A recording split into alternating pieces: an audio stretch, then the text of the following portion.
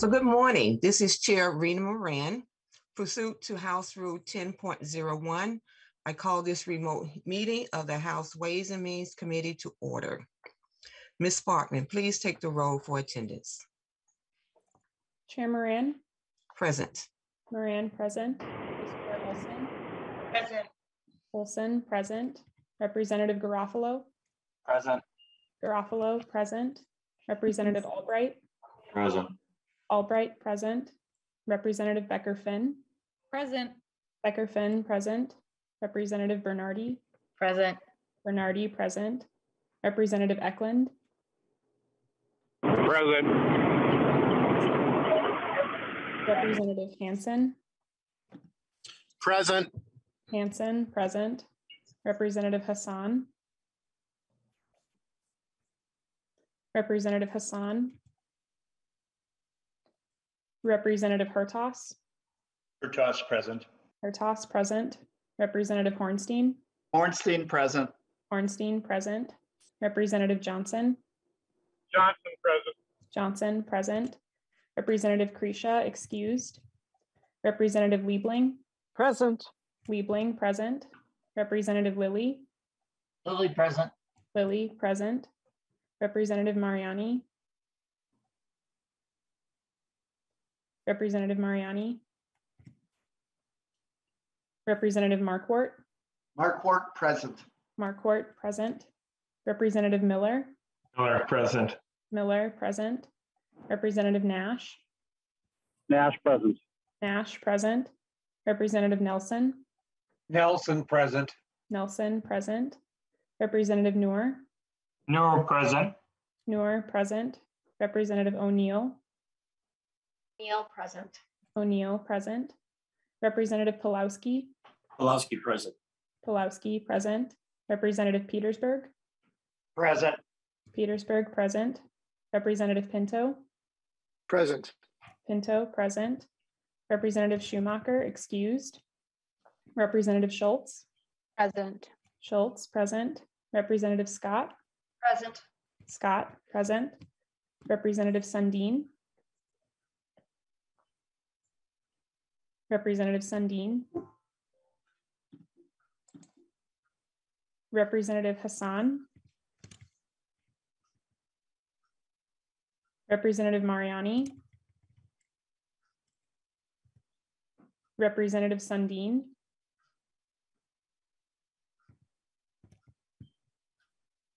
Uh, Madam Chair, that concludes the roll. There is a quorum present. All right, so a quorum is present. First, I would like to just welcome everyone back as we begin our 2022 legislative session. Uh, it's good to see you all and uh, again, and I'm hoping that we all had a restful interim. So our first agenda item is approval of the minutes from our previous two hearings. The first set of minutes is from my final meeting on, um, of the 2021 special session on June the 27th. Are there any questions or corrections to those minutes? Vice Chair, would you like to approve those minutes? So move, Madam Chair. Thank you. So Representative Olson moves approval of the minutes for June the 27th, 2021. Everyone, please unmute, unmute briefly for a voice vote. All in favor of approving the minutes, say aye. aye. Aye. Aye. All opposed? Wonderful. All opposed? The motion prevails and the minutes are approved. So the second set of minutes we need to approve comes from December the 16th of 2021, when we were briefed on the November budget forecast. Are there any questions or corrections to those minutes? Vice Chair Olson, you'd like to approve those minutes? So move, Madam Chair. Representative Olson moves approval of the minutes for December the 16th, 2021. Again, please unmute briefly for a voice vote. All in favor of approving the minutes, say aye. All opposed? The motion prevails and the minutes are approved. Well, members, uh, I just again just want to say I'm glad to see you and glad that we are having this meeting. Um, And uh, I, I just want us to remember that one year ago, uh, I provided you all with an overview of the report produced by the Select Committee on Racial Justice. And I challenge all of you, all of us, to seize the opportunity to build a state budget through an equity lens. And in many ways, you all rose to this challenge. The budget we assembled in the House of Representatives had an unprecedented focus on dismantling the long-standing disparities facing communities of color living here in Minnesota. We did not tackle every challenge, and nor did we succeed in convincing the Senate to join us in adopting each of our proposals. But you know what? There was progress. So today I will have us to reflect on the work that we have done and the work that we have left to do. There is still work to do. At this time, I would like to ask Vice Chair Olson to take the gavel. Thank you, Madam Chair. Yep. And um, would like to also ask Chris to start the slideshow for today's presentation. Thank you, Madam Chair. Do you want to proceed with the slideshow and we'll call on testifiers as, uh, as you see fit? Thank you, Vice Chair Olson. So I will be using the recommendation from the Select Committee as a benchmark for measuring our progress. But we know that the world has continued to change around us since the report came out last year. So I have also invited a number of community experts to tell us how we are doing back out in those communities across the state of Minnesota and what we can still do. I am going to give a quick reminder of how the Select Committee report was created, and then we're going to walk through the challenges, the accomplishments, and the opportunities that exist in the six different policy areas detailed in the report. So with, with that, let's start with the report.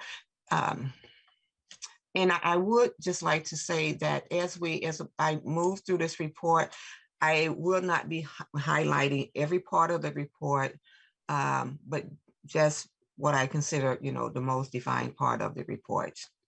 So just as a reminder, uh, we formed a House Resolution uh, 1 in 2020 of the second special session, declaring racism to be a public health crisis affecting all Minnesotans. There were six informational hearings from September to December, which was co-chaired by myself and Representative Ruth Richardson and Vice Chair Lisa Demuth, a very much of a bipartisan um, led hearing. Um, we discussed data definition. We created historical frameworks regarding systemic racism and disparities. We brought in expert from the pub for public testimony across Minnesota and the United States. And there was a final report that was released on January the 25th of 2021. Next slide, Chris. The Select Committee on Racial Justice final reports highlighted the persistent and unacceptable racial disparities in Minnesota, research findings on the rates of racial disparities and the underlying causes, the historical context of government sanctioned policies and practices that facilitate an unequal playing field, but also solutions to reduce and eliminate racial disparities. So the select committee findings consist of and stated that racism is a social system of power to dismantle. We're not talking about individual flaws of individuals, but looking at the, the systemic pieces of this because we're legislators. Racism saps the strength of a whole society by inefficiently disturbing, distributing resources and opportunity. Improving racial equity is a perpetual goal. It's not something to solve with just a chest checklist. And that is really, really important that we remember that. We can't just check and say, oh, we done that, we must be done. Committees should make space for hearing proposals that acutely address disparities, and legislation should be assessed through a lens of intersectional racial equity. And so I hope you guys remember this, this visual, which is a great visual in my mind. So we have this unequality. Um, which means unequal access to opportunities, right? We got a tree there, but it's leaning towards the majority. Equality then, to make it work, we want to evenly distribute tools to assistance. So we say, oh, let's do, let's make, let's do an equal thing, make everything equal across the table, across the process.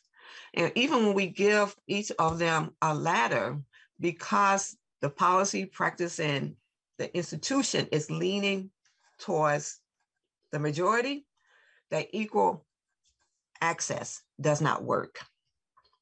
But looking at this through the lens of equity, where we create a process where everyone has the opportunity to reach their fullest potential based on their needs and the needs that's going to create access, we have to have custom tools that identify and address the inequality. As we notice, you know, in order to get that equity, one ladder is a little bit taller than the other to reach that potential. And what justice looks like is that when we are fixing the system to offer equal access to both tools and opportunity. So the system that is bended in one way to create more access to the majority, we have to straighten that so it bends fairly to create a just process. So racial disparity solution, it is the frosting versus the butter. So sustainable solutions require ground floor investment, not Band-Aid fixes. Racial equity is a lens through which we can view all policies and budget decisions. Through these opportunities to tackle disparities throughout the state budget, there are opportunities to tackle disparities throughout the state budget. In order to tackle these disparities, we have to realize that it is not the frosting that is on top of the cupcake. It is the butter that is in the batter. It is embedded throughout everything that we do to get us to where we need to be to have a more fair and just system, but more importantly, that we are intentionally working to dismantle to reduce the disparities that we see uh, in dating, inundating our whole conversations and our narrative of who we are here in the state of Minnesota. So we're going to open up by talking about economic development. And what I say is that when we talk about systemic racism, sacking the strength of the whole society, that includes the reality that systemic racism is expensive. There's a cost associated with that. And instead of me walking through this piece of economic development, we definitely have a community expert who um, we've seen and have heard from before. Dr. Bruce Corrie will walk us through that whole process. And with that, I would like to turn it over to Dr. Corrie. Dr. Corrie, could you please introduce yourself for the record and then proceed with your testimony? Chair, Chair, Chair Olson, uh, Chair Moran, uh, and members of the House Ways and Means Committee. My name is Dr. Bruce Corrie, uh, Professor of Economics at Concordia University. Uh, with over 25 years, uh, I've been documenting the economic contributions of the Alana BIPOC communities in Minnesota. To me, the importance of the report of the House Select Committee on Racial Justice and the many legislative committees that have deliberated on its recommendation is that racism is real and has a deep negative impact on at least 20% or a fifth of the population of Minnesota, people who need their voice represented in the legislature. One of the principles this country was founded was no taxation without representation. Just our Alana BIPOC workers support at least 24 billion in federal, state, and local taxes. Uh, we can show the slides as we move by. So the, the uh, House Select Committee on Racial Justice documented the both the tremendous possibilities as well as the gaps that exist uh, because of the impact of racism. Uh, nationally, uh, reports show the a loss in GDP Um, and as a result, 6 point million jobs were not created. Uh, locally, I've estimated this gap to be about $287 billion in lost income, in lost lifetime earnings, uh, in, in uh, loss in, in long-term wealth, like in home ownership, and also in disparities in state pro, um, procurement and contracting. Uh, the next slide. So a vibrant ethnic economy of at least $100 million exists in 125 to 138 uh, legislative districts in Minnesota. These ethnic economies can be very visible when you go to Litchfield Avenue in Willmar, many areas in Duluth, the many cultural malls in St. Cloud, the Rochester Medical Destination Center, and the commercial corridors in Worthington, Faribault, Windom, Winona, Albert Lea, Baxter, Little Falls, Red Wing, and Moorhead. I know it because we documented the vibrancy of these ethnic economies all across Minnesota in a video that can be found on the site culturaldestinations.org. The Alana BIPOC communities from across Minnesota asking the legislature, the governor, the judiciary to ensure their interests are represented in the laws, policies, and programs in Minnesota.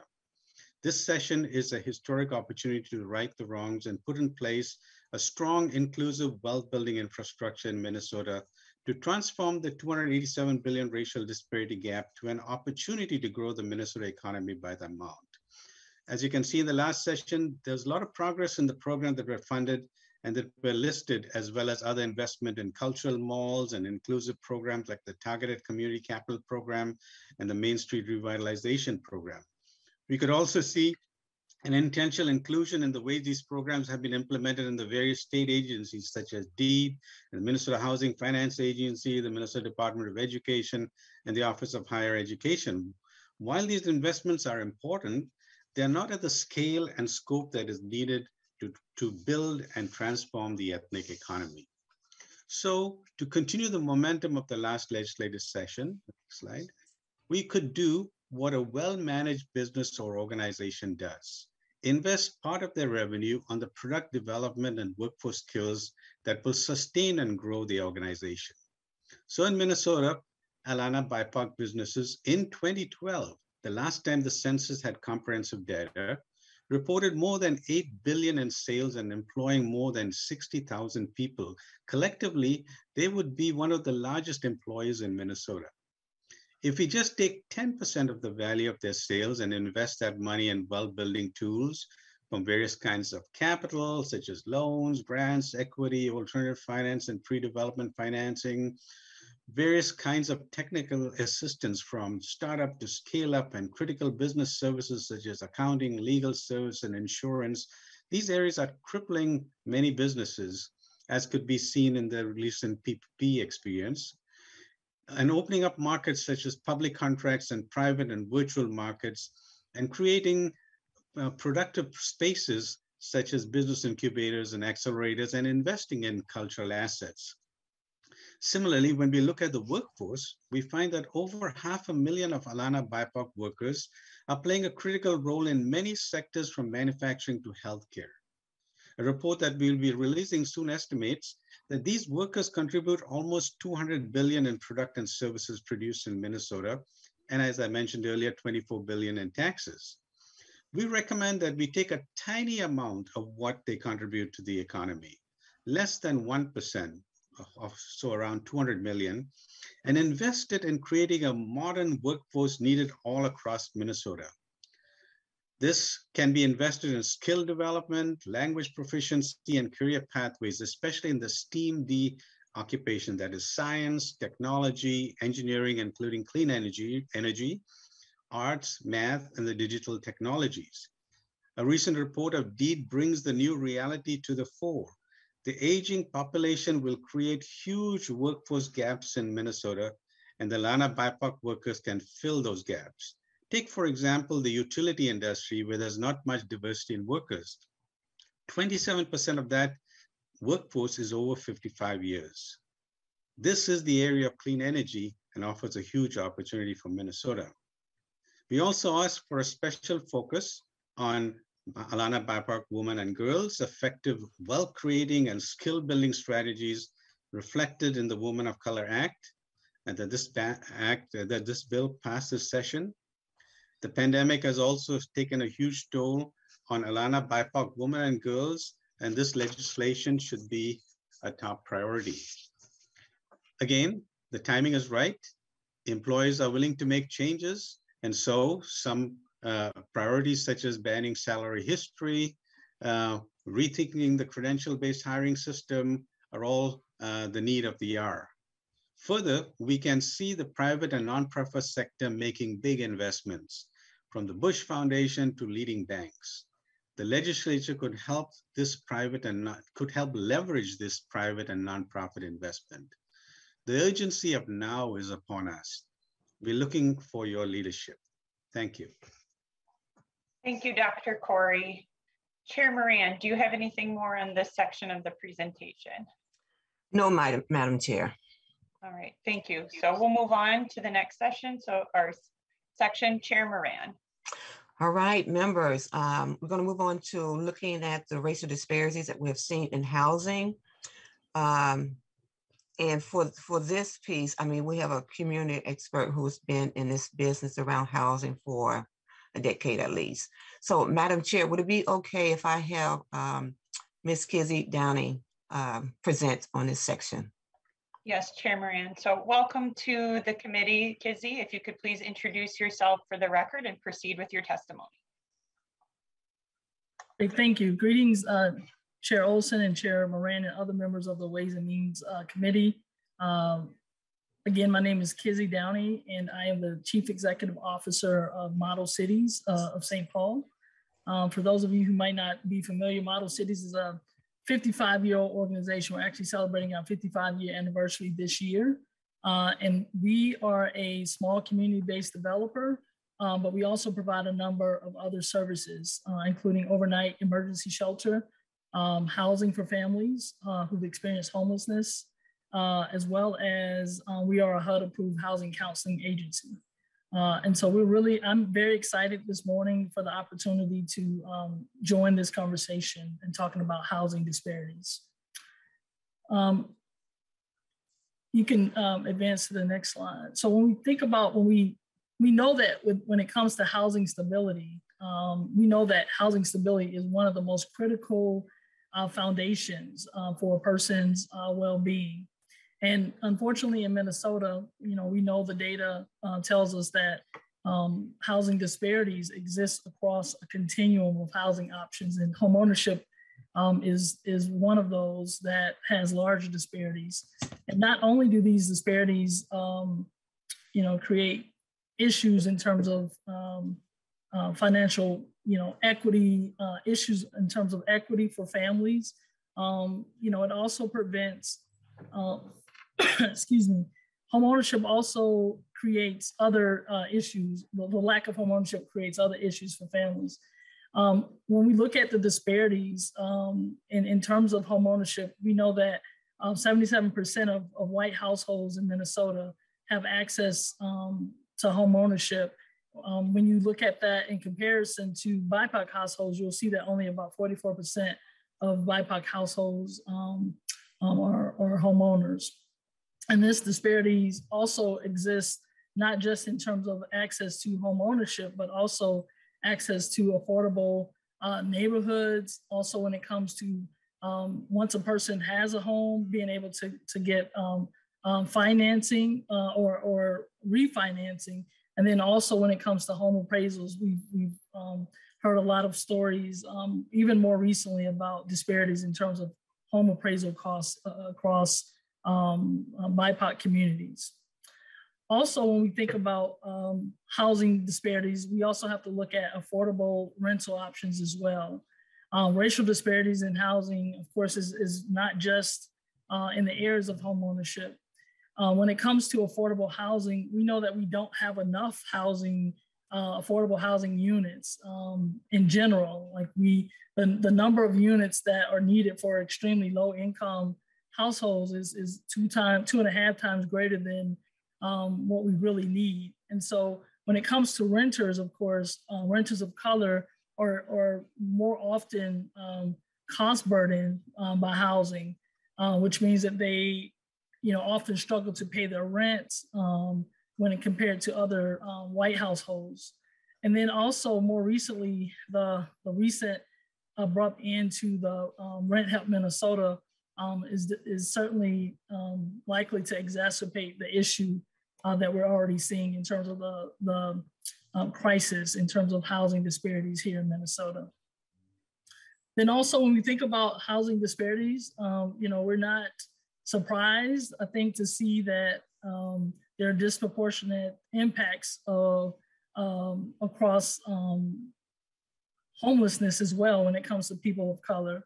Um, particularly African Americans uh, and American Indians are, are overrepresented um, in the homeless um, community. Um, when you think about homelessness, 37% of Minnesota's uh, adult population um, homeless, I'm sorry, 37% of Minnesota's adult homeless population um, was Black uh, in 2020, but only, uh, they only represent about 5%, a little over 5% of the overall population in general. Next slide, please. And so there are a lot of um, accomplishments, like we talked about the issues and the challenges when it comes to racial disparities in housing. Um, and we know that there have been some um, legislative accomplishments that we don't want to um, forget.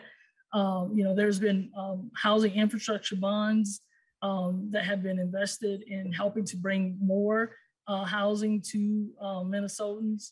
Uh, and then also there's been several housing initiatives that have gotten additional funding that have also helped to, to create better um, impact for households of color in terms of home ownership. When you think about the homeownership assistance fund, uh, the challenge fund, and other funds that are listed um, here in the slide. Um, even when we look at um, homelessness, we know that there's been, um, you know, some large investments um, in terms of, of, new funding to help prevent homelessness across our state. Uh, and then also there's been energy assistance um, um, investments made as well, which definitely help low income uh, renters uh, and, and renters of color. If you want to go to the last slide. Um, but we also know that we still like racial disparities, um, you know, in housing also contribute to many other issues across other sectors, um, some of which you've, you will hear about today, uh, education, employment, public safety. And so while we've made a lot of strides uh, in Minnesota, uh, when it comes to uh, addressing housing inequities, we, we still have a long way to go. Uh, and we can start by investing more of our state's resources uh, in helping to address this issue.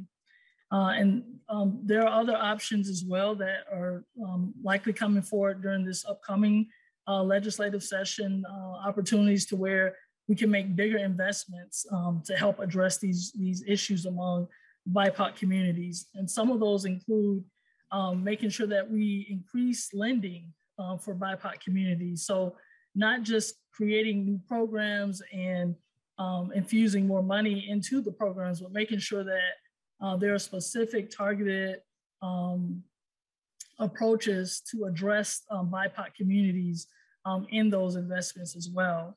Um, that, that includes, um, you know, coming up with additional alternative financial products, and then improving services for the unbanked, which definitely impacts our BIPOC communities. And then, of course, uh, investing in home ownership education and counseling um, is, is super, very important um, in terms of helping um, um, BIPOC households understand how to navigate the home home buying process and also helping them to access a lot of the resources uh, that are made available for folks looking to purchase a home.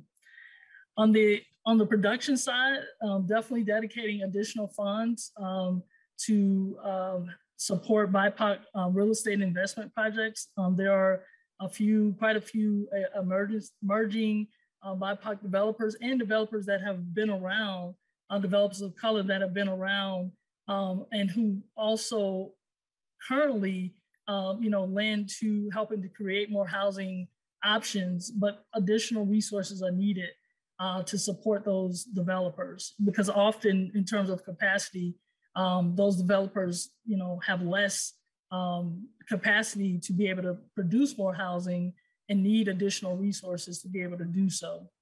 And then lastly, of course, being able to just dismantle, um, you know, a lot of the practices that has have contributed to the housing um, disparities in Minnesota is important. And so other options that we should look at this year is um, making sure that our, um, you know, uh, folks who are um, fighting evictions, that we have attorneys available for them to help them understand um, their rights and to help them navigate that process. Uh, and then also uh, implementing security deposit caps so that folks who are already cost burdened aren't um, missing out on opportunities to even access affordable um, rental because they don't have enough money to secure uh, a deposit. And then also other options around, um, you know, changing our, our screening, uh, uh, screening criteria, making it more uniform. Um, you know, that would help eliminate a lot of the barriers when it comes to um, housing discrimination, um, as well as a, a, a just cause, um, just cause policy for tenancy termination. And then, of course, uh, one that I want to kind of leave with is really looking at an opportunity to offer a statewide rental assistance subsidy program for households earning um, 50% or less of the area median income. Um, we know there's some big bold asks coming through the legislature to really support those households. Um, and the legislature has a, a, big opportunity this year to make deeper investments than we have in the past um, to really help address the racial disparities uh, and ensure all Minnesotans, Minnesotans have access uh, to a place they can call home. Thank you. Thank you for your testimony, Kizzy, and uh, appreciate your work.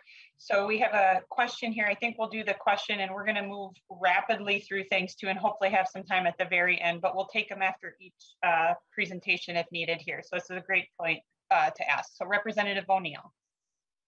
Thank you, Madam Chair. I actually had a question in the previous section too, but we went through it so quickly. But, you know, I always have questions. And so as I've been studying the homelessness here in Minnesota for quite some years, um, the most recent um, survey that we did with the Wilder Foundation, they do it in January of every year, which by the way is a horrible month to do it, but they do it in January.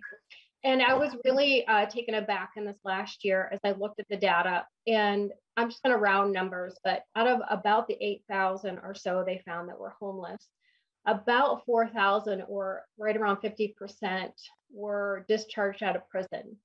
And we know, so I, I do a lot of work within the prison systems, as you know, and I do a lot in public safety. And so that was alarming to say the least. But if you couple that with um, the problem of those uh, in the court systems, whether it's from arrest all the way to incarceration, about 85 to 90% of those have an addiction issue. And the addiction issue is pivotal in their criminality. Uh, there's also a dual diagnosis with uh, mental health disorders. And we see that very heavily in our um, homelessness population. i we actually have homelessness court. Uh, we have a special court here in the metro. Um, I've attended it um, one full day and was and I've done and I've gone mental health court and it was interesting the intersection between the two. So we we just had this long presentation about homelessness and um, and about uh, inequity in home ownership. But what I didn't hear is this connection between those that are homeless, those that are struggling to buy homes, and their ongoing addiction and mental health issues that have been unaddressed. And I'm wondering if the presenter has any thoughts about that and how we can get at that issue, because that's really the underpinning of quite a bit of the problems um, uh, unaddressed addiction, as I've been trying to deal with it so much in the prison system, um, and then also the mental health issues that are unaddressed. Kizzy, would you like to respond to Representative O'Neill? Sure. Um, thank you, Representative O'Neill, for the for that question. Uh, and I would agree that yes, there are many um, you know, there, there are a number of, of, of contributing factors uh, that impact um, individuals and families um, that experience homelessness. And certainly mental health um, needs and addiction um, kind of rise to the top of that. Um, one thing that I will also point out is that um, oftentimes, like, because we have have these, um, we we deal with this as well in terms of the housing that we provide for families uh, that have experienced homelessness. And a lot of times, it's really about trying to keep them housed because it's very hard to um, get uh, a family or an individual uh, the help that they need around addiction or mental illness if they are not stably housed. And so, even though these issues around mental illness and addiction are, are certainly um, important, um, I do want to stress the importance of, of, of, of a person having um, a stable place to be able to, to like access all of those services because when they're in transition, um, they're they're more worried about um, survival and not necessarily um, about addressing those mental health needs or the addiction um, issues that they're challenged with. Thank you. And I'll just remind uh, Representative O'Neill too, we're going to do a part later on behavioral health where some of this may come up as well too, or we'll be able to dive in as well. Uh, Representative O'Neill. Thank you, Madam Chair. No, I think it's just such a critical conversation and I didn't want this entire presentation about homelessness to go by without having this really critical conversation because if you want to get at the underpinnings of what is such a challenge um, so for our prison population for our those that suffer with mental illness regardless of color eh, you know yes we have an overrepresentation of bipoc people in prison.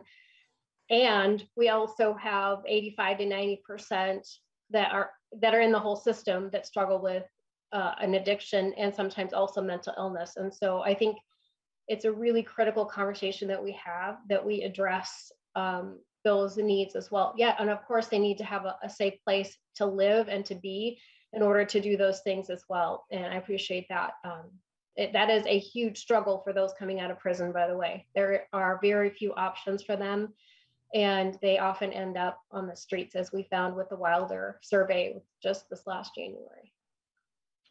Thank you, Representative O'Neill. So Chair Moran, uh, would you like to start up the next section? I will, but before I do, I just want to say to uh, Representative O'Neill, you are correct that um, whether we're talking about housing or the a, job or our educational system, you would see those factors are are just intrinsic, embedded in all of those issues uh, across the spectrum.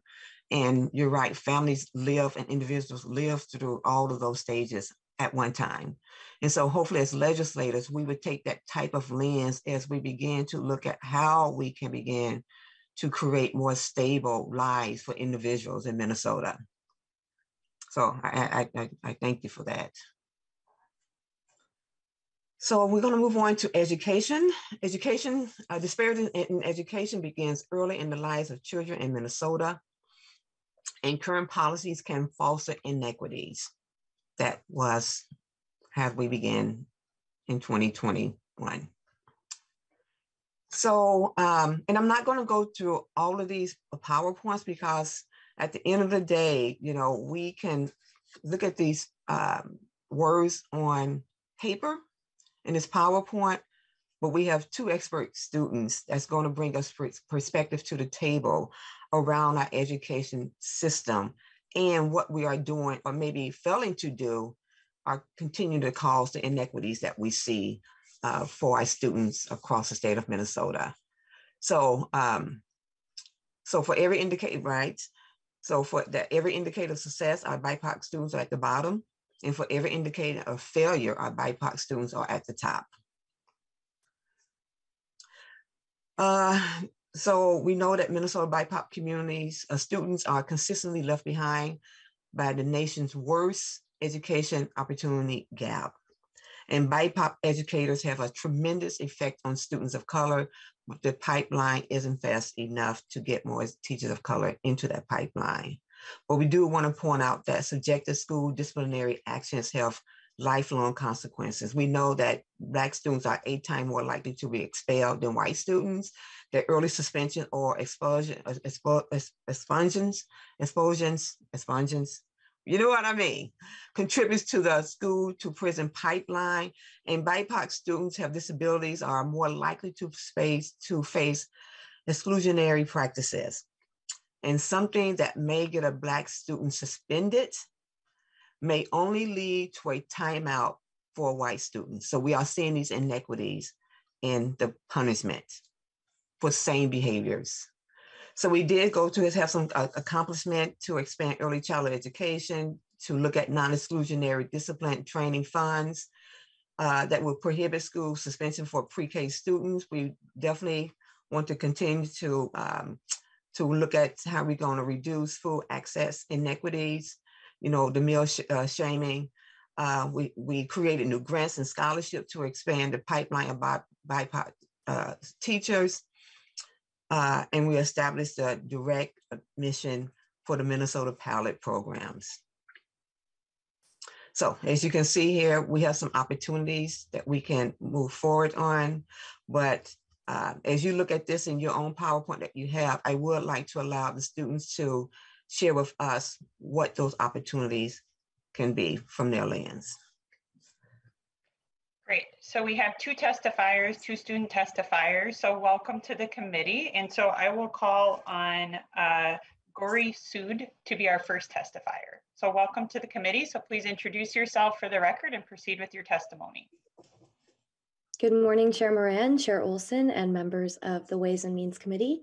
Um, I'm Gori Sood. I'm a senior um, in high school in Rochester, Minnesota, and I'm here from both the Rochester Community Initiative and the Olmsted County Youth Commission youth groups, but I'm also just here to provide you with a little bit of my own experience. So thank you for having me.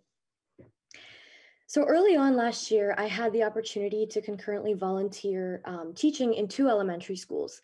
And one was a well-renowned international school and the other was a trauma-informed public school. I taught this same emotional learning curriculum to both schools and in an attention activity that we did, um, while the international school students knew all the planets and their names, um, most students from the public school didn't know that Pluto wasn't one of the eight planets. And fast forward 30 years, these disparities are much larger than planets. Obviously, they lead to economic, behavioral, and emotional differences. So I believe social and emotional development is crucial because kids who have had a difficult background have actual physical differences in their brain. And so research shows that of children in poverty, the hippocampus of the brain, the area of um, the memory center shrinks and it makes it more difficult for children to remember well, and that puts them in this cycle. They're caught.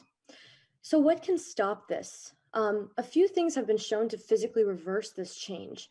Um, having nurturing relationships and learning pivotal social and emotional skills can reverse this adverse effect. Learning skills like showing gratitude, using kind words, um, learning how to manage your own emotions, all of these things.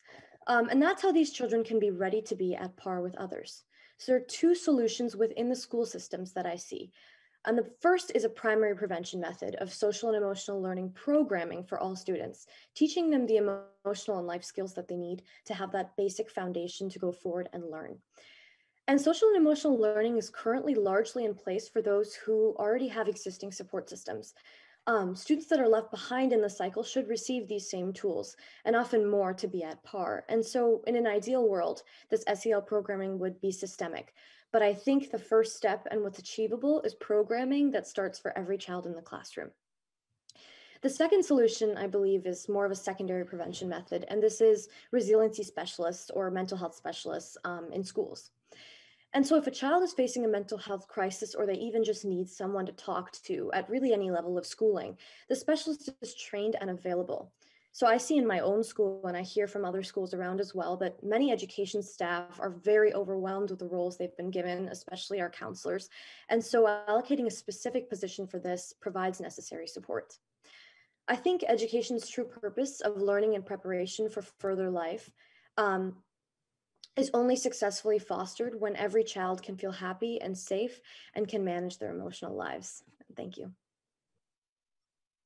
Thank you for your testimony. And the next testifier will be Pony White. So welcome to the committee. Please introduce yourself for the record and proceed with your testimony. Hello, my name is Pony White, and I'm an early childhood policy consultant and a policy lead with the Minnesota Young Women's Initiative. But most importantly, I'm a young Minnesota who has attended elementary, middle, high school, and completed my undergrad in the state of Minnesota. I will be speaking on geographic inequities that exacerbate racial and class inequities for young Minnesotans. Thank you all for allowing me to speak today. I'm a first generation West African immigrant who grew up predominantly in East Grand Forks, Minnesota, which is a small rural town in greater Northwest Minnesota. My upbringing exposed me to racial, class, and geographic inequities in the Minnesota school system. My education curriculum lacked cultural competency. This looks like students of color making up only 31% of Minnesota's student populations, yet receiving 66% of all suspensions and expulsions, largely due to the weaponization of their behaviors. This looks like a third of Minnesota school children identifying as people of color, but only 5% of Minnesota teachers actually being people of color. This looks like English language learners being put in programs that segregate them from their other classmates rather than integrating them into their school community, like my high school did. This looks like education, educators not being trained to respond effectively to students and families from varying racial and ethnic backgrounds. While the examples I just listed can also apply to all regions of Minnesota, these inequities are gravely exacerbated in greater Minnesota, a big part due to a lack of funding and the disregard of BIPOC populations in rural Minnesota that is fewer per district than, than the population of BIPOC in the metro. A report from Minnesota House Research shows that metro schools receive 3,000 to $5,000 more per student than schools in Western and Northwestern Minnesota.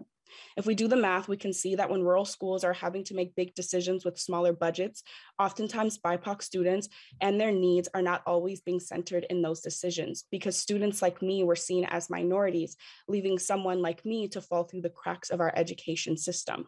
Fast forward to now, my younger siblings attend school in the metro. They go to Wayzata High, High School. My siblings are being prepared for college. They have guidance counselor who center their experiences, their upbringings, their family lives.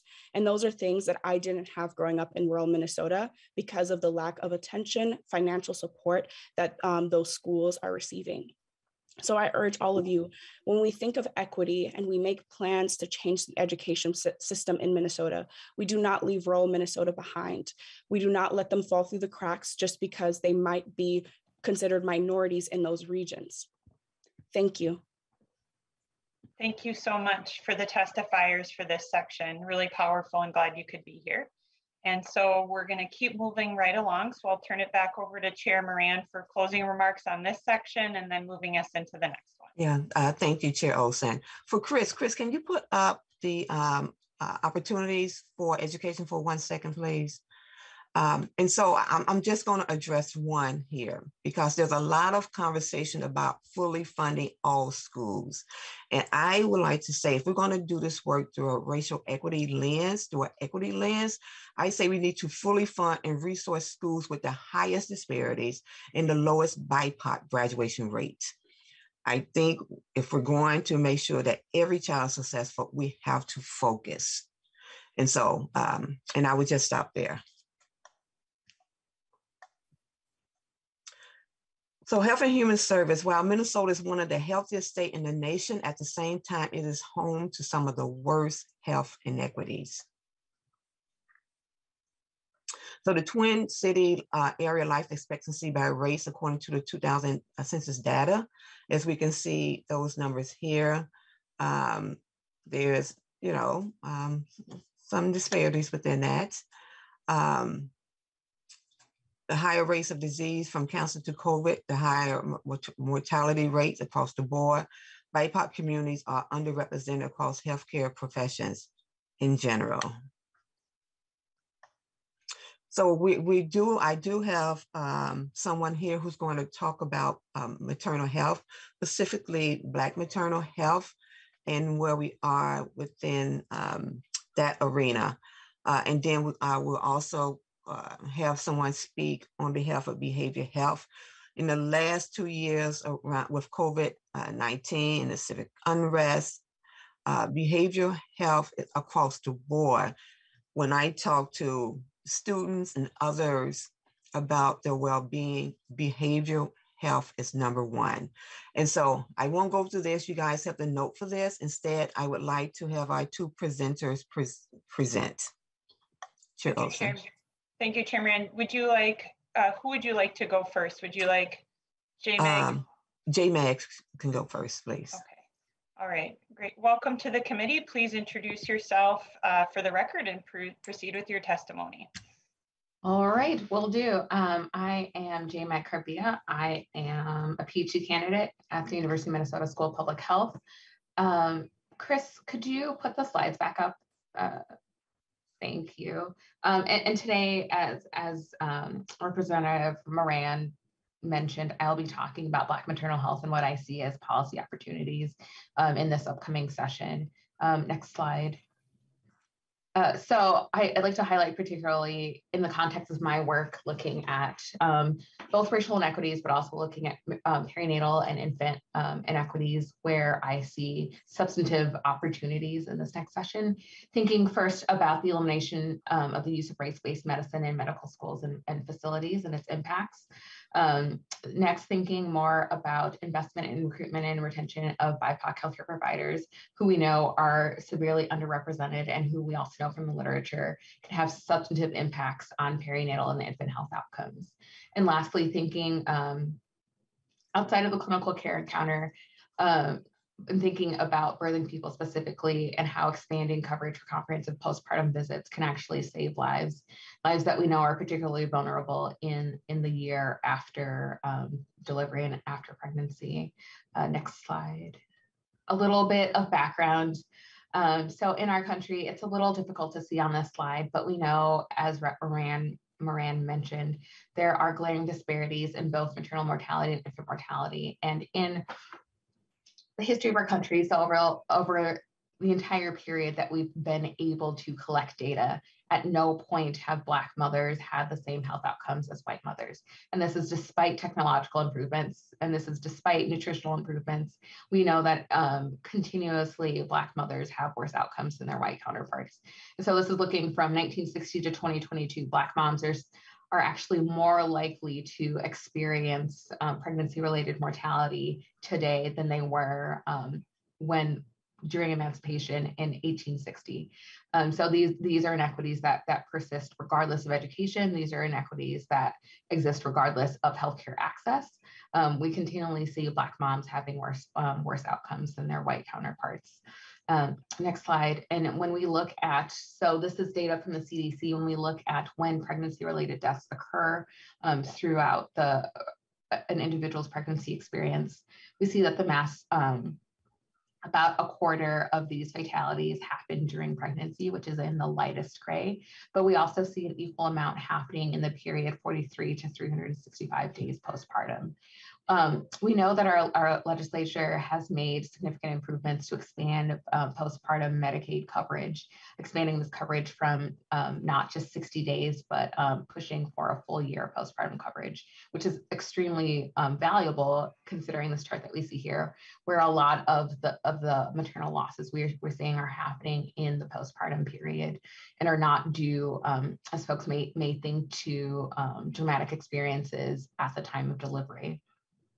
But if um, we move to the next slide and thinking about why it's important to have an explicit racial justice or explicit health equity focus within um, perinatal care, we know that these birth outcomes we see, as I talked about, the persistence in these racial inequities are not due to individual behavior, but rather systemic failures.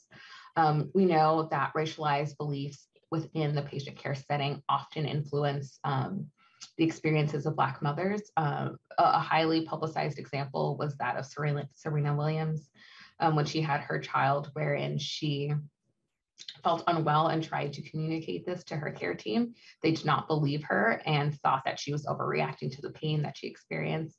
It was only due to extensive self-advocacy that they finally listened to her and just narrowly caught a pulmonary embolism that could have killed her um, and forever changed um, the life of her her partner and her child.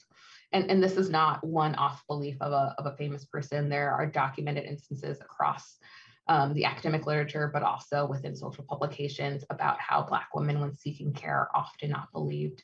Um, I, I, fail to remember the woman's name, but a woman seeking emergent in it, seeking care um, in emergency room due to pregnancy related complications was sent home and told um, was escorted out of an ER by by officers because they thought she was making it up and didn't need to be there and would go home and and, with it within the next 24 hours died due to pregnancy related complications. Although she had sought medical care, was not believed and was sent home.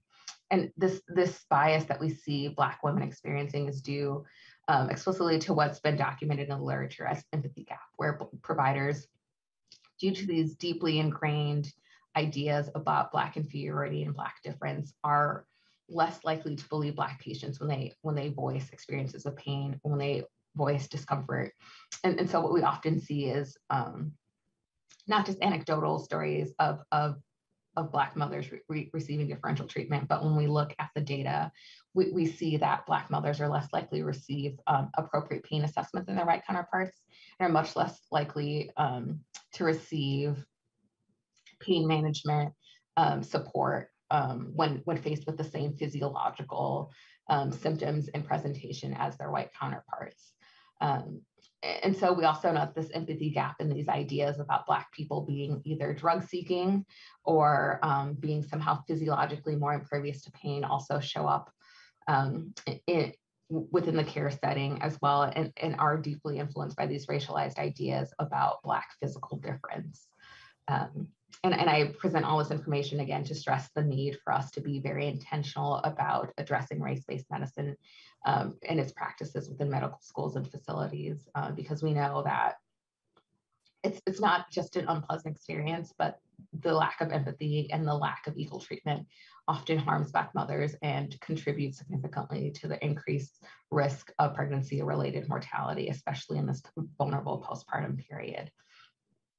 Um, a, a, second um, opportunity in thinking about the clinical, um, how racism shows up in the clinical clinical care setting um, is, is on this next slide here, Chris, where we know also it's not just experiences of Black moms, but this, this deep, deeply troubling empathy gap also has severe consequences for Black infants. Um, in, a, in a study published in 2020, through a national survey of medical records and that looked at both physician identity, uh, racial identity, and the racial identity of a pregnant person, we saw that Black infants um, had better health outcomes when treated by racially concordant, concordant providers. Um, what this means is that when Black moms have Black doctors, their babies do better and they do better. And, and we know that although this is a wonderful opportunity, it's, it's one that's difficult for us currently in the state of Minnesota because we have such a strong underrepresentation of providers of color. And, and looking at this data and having this quantitative evidence that suggests that increasing workforce diversity has substantive impacts on this population, um, it's clear to see why this is a session opportunity and why it's it's urgent for us to invest in the recruitment and retention of more BIPOC health providers. Um, I'm trying, I will be cognizant of time, but my last, last slide, thinking about the postpartum period, again, going back to what we know about when pregnancy related mortality occurs, it's, it's urgent for us again to um, expand not only postpartum coverage, but also think about how we space out postpartum checkups. Um, thinking currently postpartum women receive a six weeks checkup, and we know that oftentimes this may lead to catching problems too late in the postpartum period. Um, I offer the example of um, a patient experience at a Roots Birth Center here in Minneapolis, where a patient, because of this birth center model that's significantly different from this traditional hospital model and instead encourages postpartum visits 24 hours 48 hours and two weeks rather than six weeks after um, after after delivery um, a provider was able to catch what could have been a potentially fatal deep vein thrombosis and that could have resulted in maternal mortality. Um, and so what we see is that oftentimes waiting six weeks is too late. And, and so encouraging um, and offering expanded comprehensive postpartum coverage allows yet another opportunity to save um, save postpartum mothers, but especially Black mothers who we know are disproportionately impacted by pregnancy related mortality. Um, and I, I will end there and of course, welcome questions later in this. And Thank you for your testimony. We appreciate it. So we will move to the next testifier on this section, Dr. Bravada. Please uh, welcome to the committee. Please introduce yourself for the record and proceed with your testimony. Okay, thank you very much. Um, uh, again, good morning. My name is Dr. Bravada Garrett Akinsanya. I am a licensed clinical psychologist with over 40 years of experience in the field of mental health. I've been serving clients whose ages range from birth till death, and I am a fellow of the American Psychological Association and a board certified diplomat and fellow of the National African American, oh, National Association of Black Psychologists. I also am president of uh, and executive director of the African American Child Wellness Institute, and that is a Rule 29 nonprofit community mental health center. It's located in North Minneapolis as well as in Plymouth. ACWI's mission is to promote the psychological and spiritual liberation of children of African descent. And we do that work by providing culturally specific mental health services and by developing access to culture based, holistic wellness resources, research, and practices. In my experience as a psychologist, as I've said, it's been more than 40 years. One of the things I've seen in leadership as president of the Minnesota Psychological Association and also as a past president of the Association of Black Psychologists, I know that we have to make sure that in our writing, in our presentations, in our community outreach, that we bring in the culturally relevant information. So one of the things that I specialize in is doing community teaching.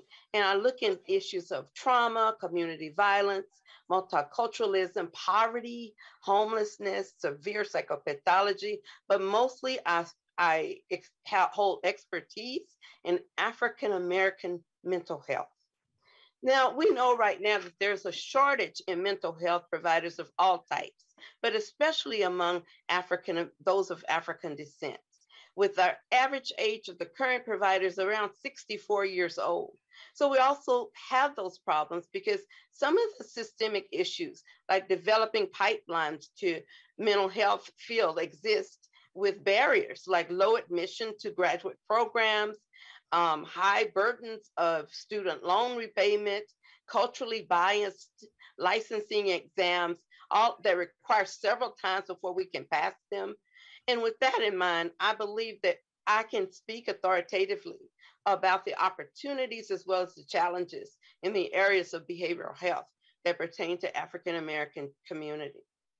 First, it's no secret to anyone that African American children and families in Minnesota experience severe disparities in multiple systems, including education, foster care, juvenile justice, and mental health. Sadly, a recent uh, Minnesota student survey revealed that while 15% of Black ninth grade youth reported having long term, long term mental health problems and behavioral and emotional difficulties, they said that their problems lasted more than six months, but only 9% of them ever had been treated during the whole year after that, after that information was known. These systemic practices have deleterious impact on the lives of African American youth and families. And as an example, I'd like to specifically address some of the key issues such as safety, trauma, suicide, drug abuse, and exposure to violence that kind of highlight what I'm talking about when I address these issues.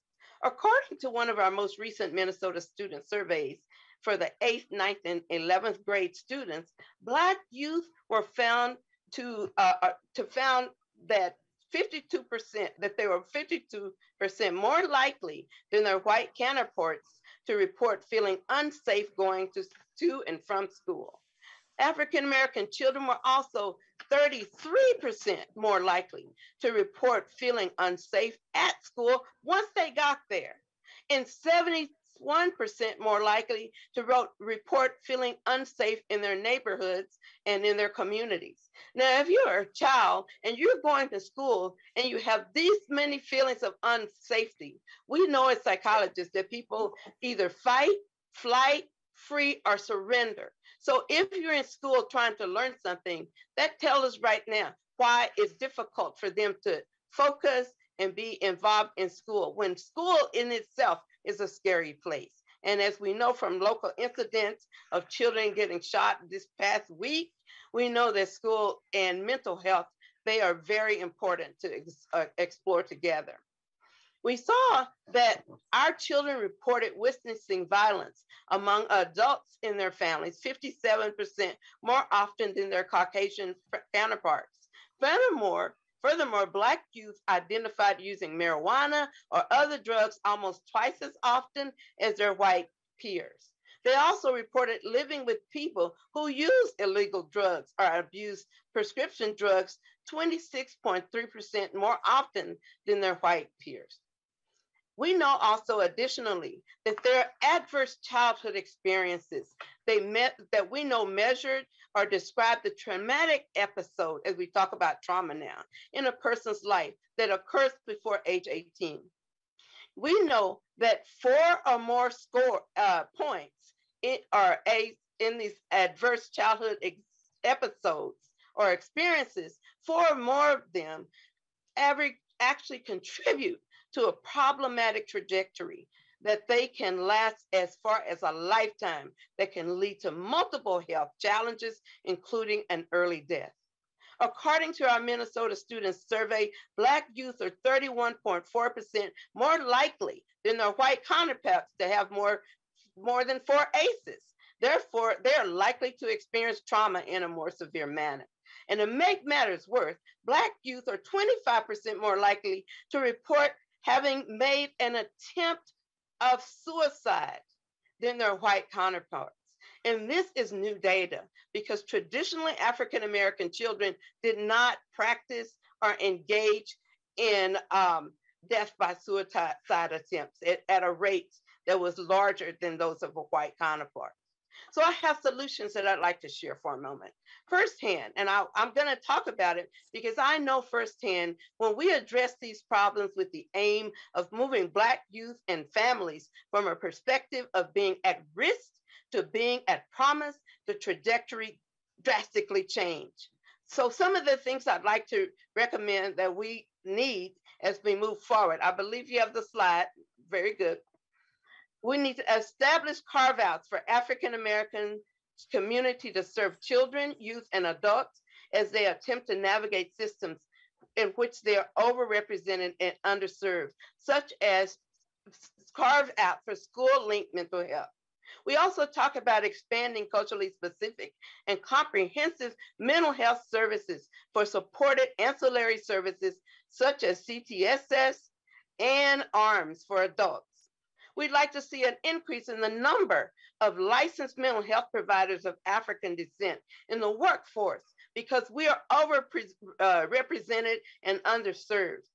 So that they learn in culturally congruent ways through training and supervision how we can go back to our own communities, communities and bring healthy lifestyles that are congruent to our values.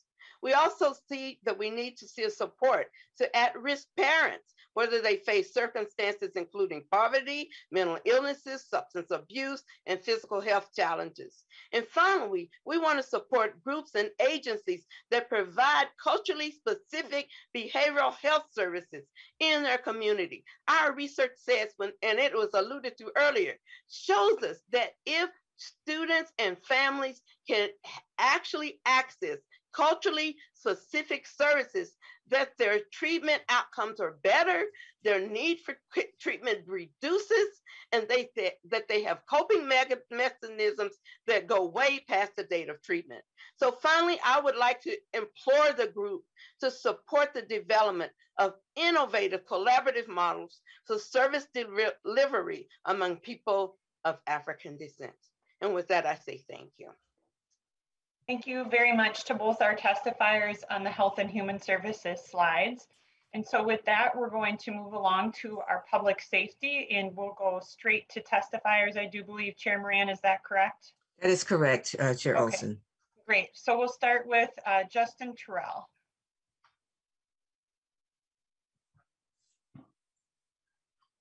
Uh, good morning, everyone. Can you can you hear me okay? Is yep. my audio okay? Yeah, go ahead and introduce yourself, Justin, for the record, and then proceed with your testimony. Absolutely. Thank you, um, Representative Olson. My name is Justin Terrell. I'm the Executive Director of the Minnesota Justice Research Center, um, and I'm uh, thankful to be here. Uh, so racism as a public health crisis is a Minnesota problem that can be addressed in this body, um, along with the governor and the other body, um, should be aggressively pursuing innovative solutions to this public health problem, specifically around public safety, to ensure our state becomes the standard for our country. My job is really easy today. Um, you don't need a research expert on criminal on the criminal legal system uh, or or uh, racial equity to know that Minnesota has a problem. Um, last week alone uh, in Minnesota, we saw failures to, to address these issues once again um, on full display for the whole world to see. The killing of Amir Locke reveals the failure of the criminal legal system to make decisions in the interest of public safety to protect life uh, with, with, uh, while executing its investigative duties. Um, at the same time, the killing of Jamari Rice in Richfield, where my family lives, uh, reminds us that violent crime is up and people don't feel safe. Both incidents are reflections of how law enforcement is inequipped by themselves and equipped by themselves to advance community safety. Um, yet we're seeing the same old, and I'm just going to mention this because I, I'm thankful to be here with with you all, but I'm going to mention is that we are seeing the same old tired political debates about tough on crime versus soft on crime. And uh, we really need to be thinking about how to get smart on crime. Some of the measures in this report we are discussing are steps in the right direction. Several of the policies that have been uh, passed have been uh, uh done so with law enforcement community members at the at the table together. Um, I, I, don't know that we went through that part of the slide um, but uh, you guys highlighted in the slides the the areas that have been that have been passed. I'm, help, I'm, there we go. Okay, so civil asset forfeiture, uh, stronger reporting and inspection requirements for correctional facilities. The hard, if you don't know the Hardel Sherrell story, um, it is something that every legislator concerned about these issues should be concerned with, um, should be familiar with. Uh, new regulations for no-knock warrants. So uh, uh Representative Hollins brought forth um, uh, proposal on no knock warrants last year, and um, that was you know adopted in a pretty that I feel like could have been a more aggressive measure. Um, most of the focus of the of the bill focused on how to request and document uh, the use of knock, no knock warrants, and we see the same sort of measure in Minneapolis where they made some changes to the policy. Um, I'll get back to my analysis of that in a moment. But sign and release is a bill that passed that would have saved Daunte Wright's life uh, potentially uh, surcharges and license revocations, uh, reforms for minor offenses on driver's licenses. Uh, that's a bill that the MNJRC worked on.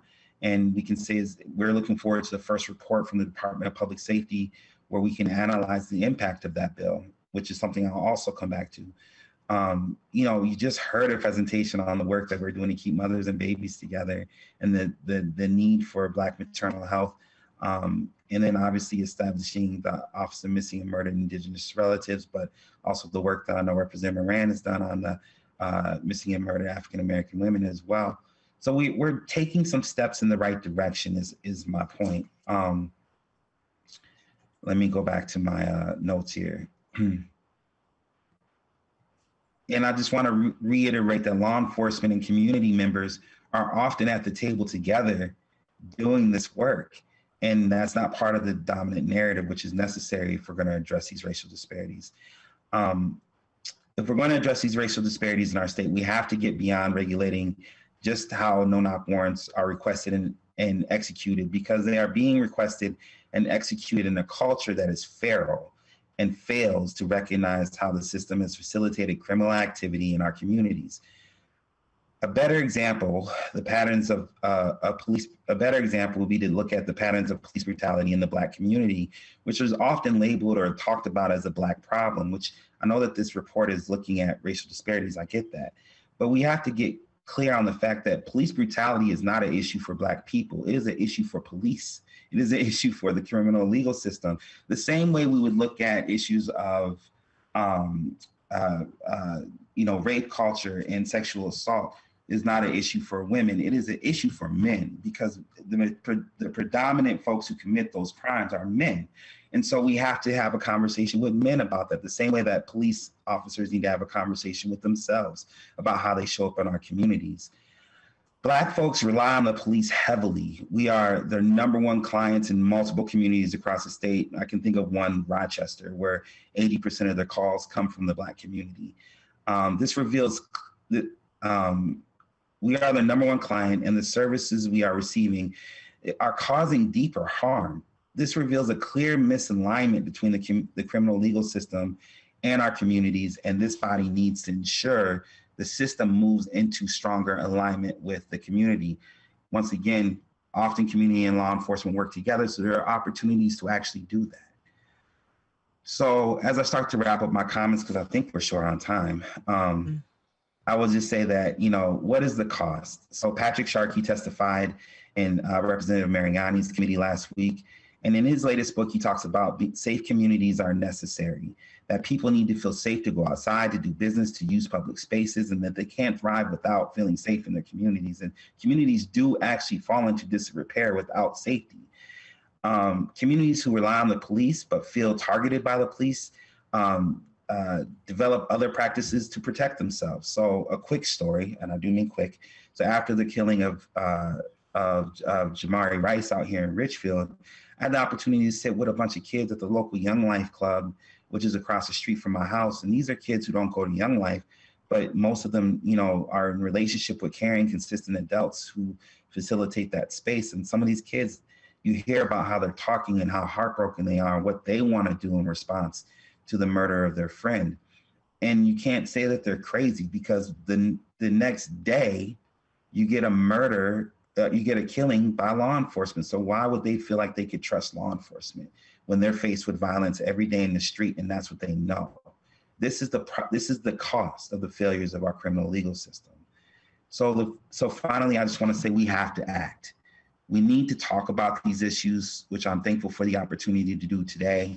We need to take action and pass policies that we think will make a difference. But most importantly, like in the case of no knock warrants, we have to go beyond just reporting on the policies and start to evaluate these measures we are not learning enough from what we're putting into public safety. We spend tons of money on it, and and we should, in some respects, do that. But it shouldn't just be a blank check.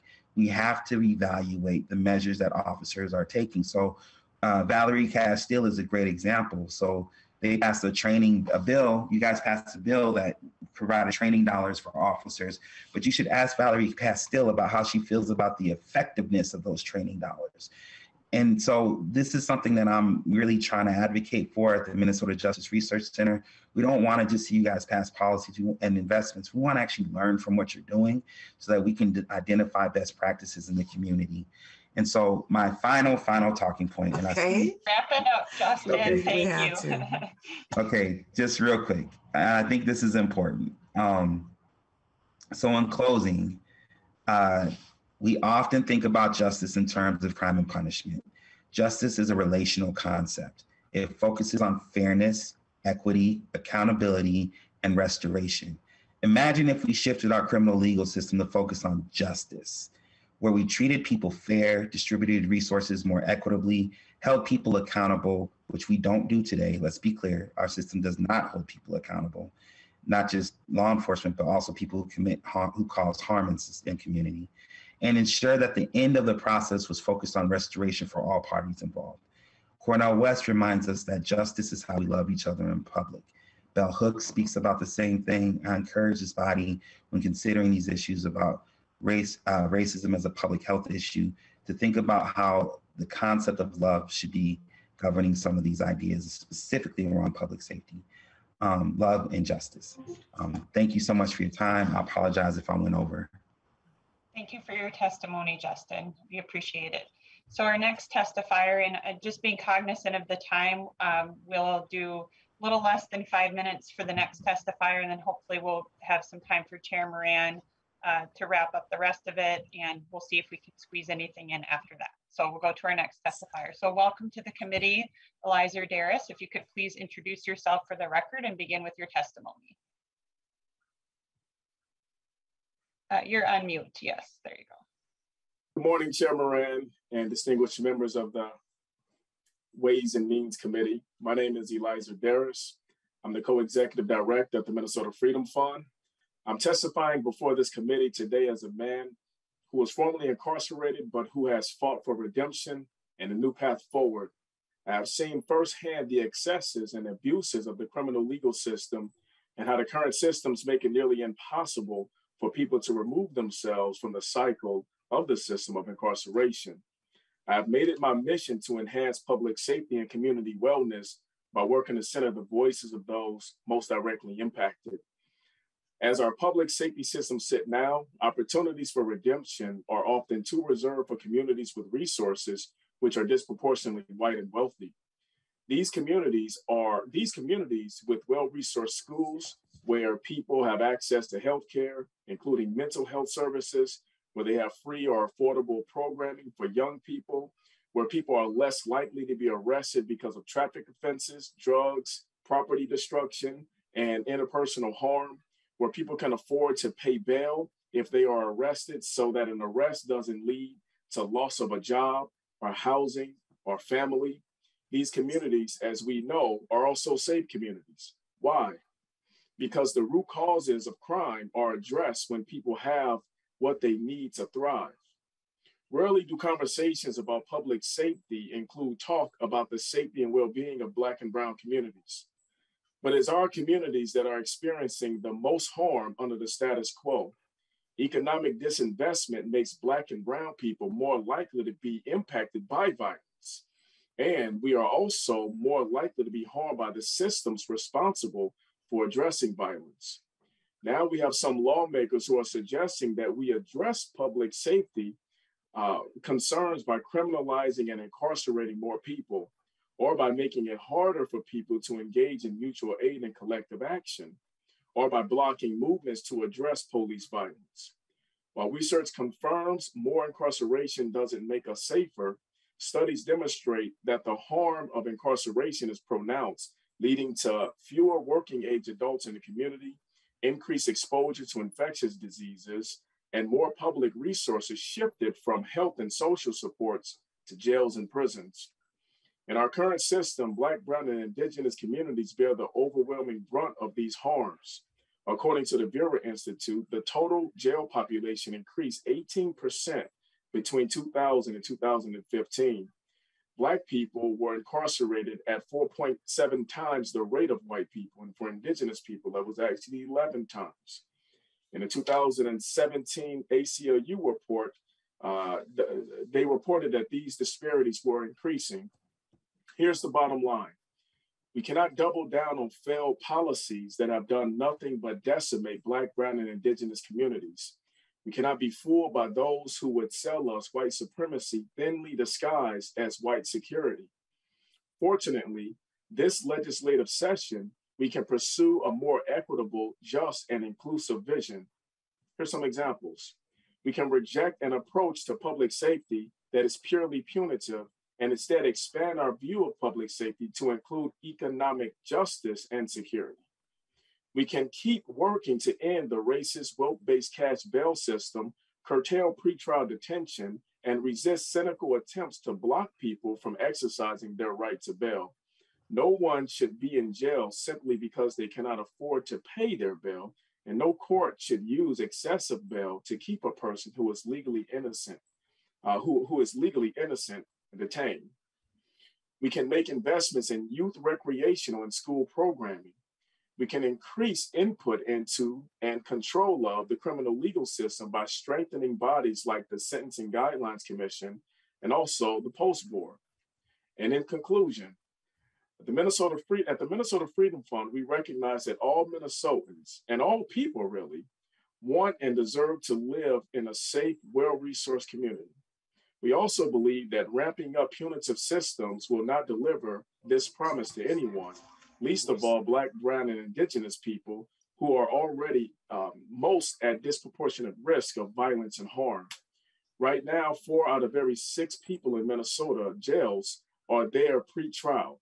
22,000 people without immigration status are also being detained. At the Minnesota Freedom Fund, we view these people and their safety and well-being as part of the public safety conversation. We refuse a view of public safety that presents them as disposable. Above all, I want to urge you to reject the terms of the current public safety debate, where the security of one community must be purchased by disinvesting from and destroying another. I want to invite you all instead to adopt a shared vision of public safety where the goal of policy is to foster communities where we can all thrive and be safe. Thank you, Chair Moran, and thank you, uh, distinguished members of this committee. Thank you very much for the testimony to both our testifiers on this section. We appreciate you being here and to all the testifiers today. We won't have time to get through the rest of the slide deck. So folks are, we did get through all the testifiers that are here. So thank you for that. But for members, you are able to review the rest of the slides that were sent out in your committee packet, and we will happily put you in touch uh, via our staff to any of the testifiers if you have questions. But we do see Representative O'Neill's hand up, so we'll take her question if we can do it a little fast, and then we'll turn it over to Chair Moran to wrap up. So Representative O'Neill. Thank you, Madam Chair. I just have a quick comment. So, um, we, you know, we have a historic violent crime problem in Minneapolis and St. Paul and surrounding area. In 2001, there were 741 carjackings. In other words, there was a gun put to someone's head and demanded their car for that. Um, I listened to a press conference where the interim police chief in Minneapolis said 29 juveniles had more than five violent felonies that they were charged with and we know that juveniles in particular are detained and then released almost immediately. So we have an epidemic of violent crime. I don't think anybody disputes that in Minneapolis, St. Paul, and the surrounding area. I'm from Wright County. We have seen that up there. So I think the concern of Minnesota is to deal with the violent crime epidemic. It's something that we hear in the news continually. Um, I would go back to the previous testifier and the previous slide deck and look at the accomplishments that we've made. And I had a lot to do with many of those points that we made that were uh, presented. Um, I am sure that we will have another conversation about no-knock warrants. We will look at that in great detail. But I would just caution that this um, the I, the last presenter with his uh, concern about not not having bail and things like that is uh, it's a scary concept I think for Minnesota right now is to get have someone arrested and then immediately released that had committed a very very violent offense. When you have a gun put to your head, I think that is um, a very scary situation. And like I said, 400 or excuse me, 741 violent carjackings happened happened in Minneapolis and St. Paul just last year. So I I would really caution moving forward to uh, entertain those sort of things because I think Minnesota wants safety and um, and that's my concern. Thank you, Madam Chair. Okay. Thank you, Representative O'Neill. So Representative Becker-Finn, your hand came up. I know I said I was just going to do Representative O'Neill, but if you can be super quick so we can give the last word to Chair Moran, that would be great. Thank you. Uh, thank you, Representative Olson, and did want to just quick respond as someone who has worked on bail issues and been a prosecutor who has asked for bail. And the question around bail is whether, um, because of somebody's income, whether they should spend more time in jail. And the courts make decisions about setting bail based on the the violence and the risk to the community. And the question before us is whether someone with lower income should sit in jail longer than somebody that with higher income. It is not necessarily a matter of uh, the danger and the risk of the person who's being held. Thank you, Madam Chair. Thank you. Thank you all members. We went through a lot today, so I'm going to turn it back over to Chair Moran for our final wrap up on this section. Chairman. Thank you, Chair Olson. So I, I would like to thank all the testifiers, the expert testifiers who have come from the community, who are impacted by system, who has an insight into the solutions. So I'm hoping that we are open enough to hearing from the community what those solutions can look like and the impact they will have on the outcomes of strengthening individuals and families and community. Uh, I want to thank uh, Jamie Becker, uh, Chair Becker Finn for her response to the bail piece because we have murderers who are able to, you know, pay their way out of, uh, of a bail and continue to be in the community. It's based on income. And so we have an opportunity and obligations to spend our money diligent, diligently to have different outcomes. And so as legislators of a hundred year of being uh, a system that has tipped the scale for the white population is impacting who we are today and how we still see the world. So we all have opportunity now to, to do our research, to do better, be better, and do some really good investment. Thank you all for um, being here today and have a great day. Thank you. So with that, members, we are adjourned.